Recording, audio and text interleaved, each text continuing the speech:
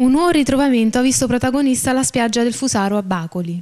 Mentre erano in corso alcuni lavori di manutenzione e restauro del complesso immobiliare ex colonia Marina Lorenzo Pasquinelli, il geometra Vincenzo Lamarca della ditta DMD ha portato all'attenzione dei suoi collaboratori la presenza di alcuni oggetti misti alla sabbia.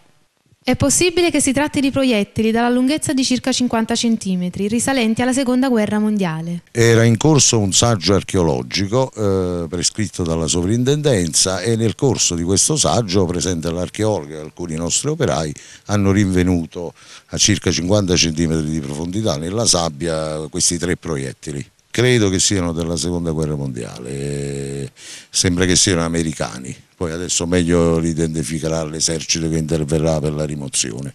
La scoperta non ha determinato un particolare scalpore, dato che solo un mese fa nella stessa zona la spiaggia aveva restituito una bomba a mano. L'oggetto al tempo ritenuto potenzialmente pericoloso richiese l'intervento degli artificieri.